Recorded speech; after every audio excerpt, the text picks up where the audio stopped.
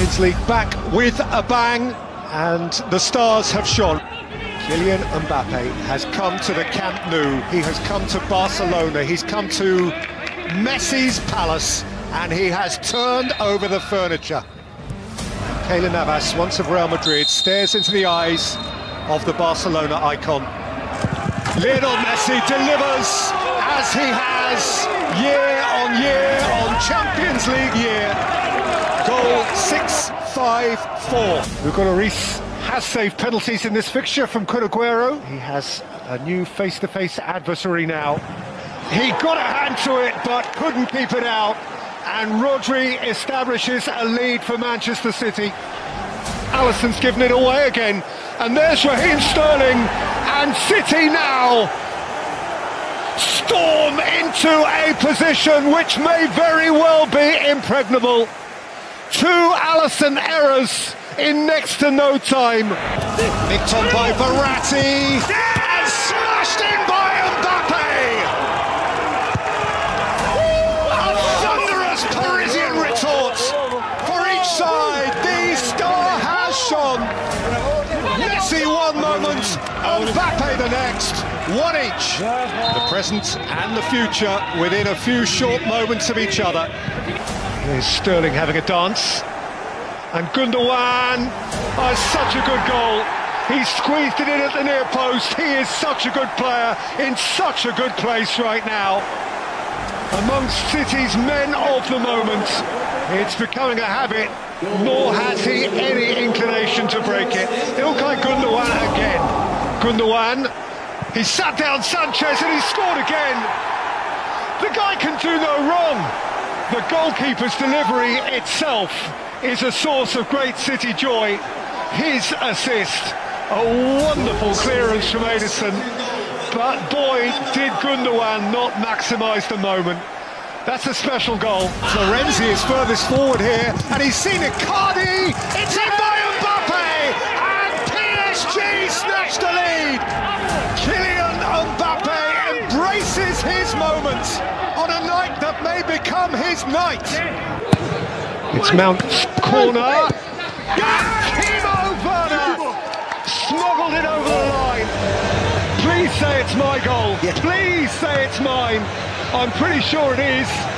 There was a moment's confusion, a quizzical look, but after a hundred days, Timo Werner scores in the Premier League again, and the smile, bloody lip smile, tells the full story. Do you know, if they take that one off him, if I was him, I'd rip off my shirt, walk off and say I'm done. Pembe behind him. Paredes! And Kean! And Paris Saint-Germain pull away in the Nou Camp. They are storming one of Europe's great castles. This can be a landmark win. And Foden and Gundogan and City do lead at Anfield. A redemptive moment for Ilkay Gundogan. And the champions are behind on their own patch again. And City now on top, and they will take some knocking off. Here's Foden. Phil Foden! Oh, ho, ho! Manchester City have their boots on the throat of the champions. That is a screamer from Phil Foden. They are fizzing away. To Roddy kept him at bay, but Armstrong has sealed it. Since last eight, Stuart Armstrong with precision in the closing seconds of the 90 minutes. Uplift for Hasenhüttl. Roddy was stranded, little he could do, and Southampton are through.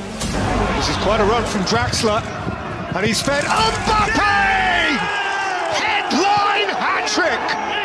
He strides the stage like the world star he is. Kylian Mbappe has made this his night. And Koeman has nowhere to hide. Traore run around Gabriel here and set it for Watkins who scores. Inside 75 seconds for Aston Villa. This guy is shining right now. And Villa have flown out of the blocks. Ollie Watkins, boyhood Arsenal fan, who has now scored three goals against them in one game and one minute this season. He's in the right place. Werner. Clear of Krafth, in by Werner. And thrashed home by Olivier Giroud. Half an hour in, Chelsea ahead. Timo Werner gets a big tick. Olivier Giroud gets a big goal. Oh, again, more clearance from Alisson. Here's Foden. He's got between two, and Foden set it for Gundogan, and City have their lead back. And once more, Liverpool's crown slips on their head. Gundogan from zero to hero times two. And they're giving penalties back to Jorginho.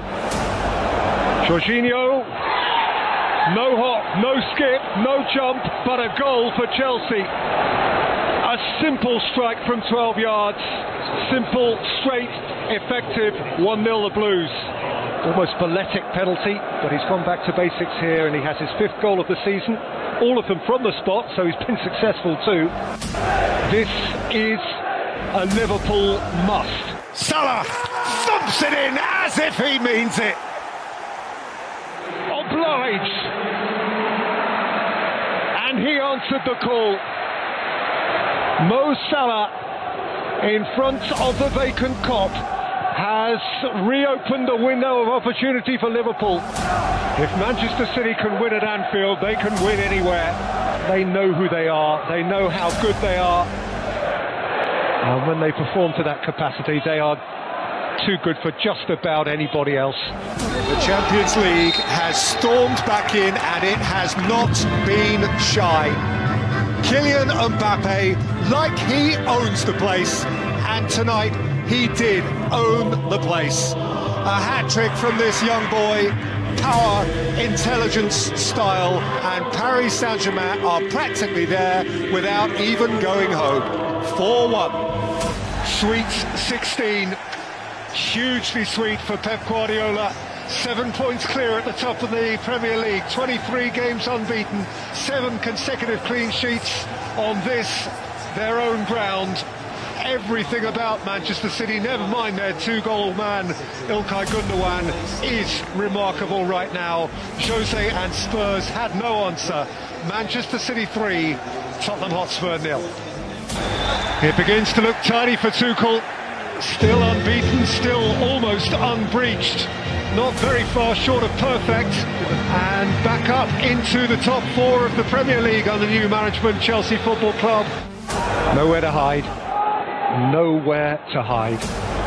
Anfield, they said back in the day, used to be a visiting goalkeeper's graveyard.